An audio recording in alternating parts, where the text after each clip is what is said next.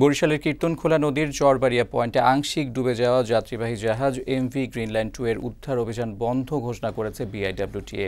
টানা তিন ঘণ্টা উদ্ধার তৎপরতা চালানোর পর বন্ধ করা হয়েছে শনিবার রাত থেকে শুরু হওয়া উদ্ধার কাজ।